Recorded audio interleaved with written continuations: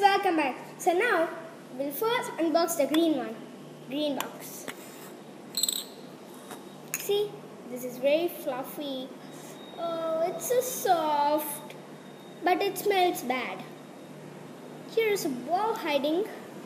Wow, it's a thermocol ball. I think we can play with it. So we'll keep this inside this box. So bye friends. Subscribe kids.